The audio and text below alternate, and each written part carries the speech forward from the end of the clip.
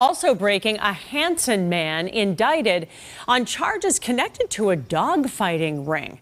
Now, this is video from last summer when federal agents searched his property.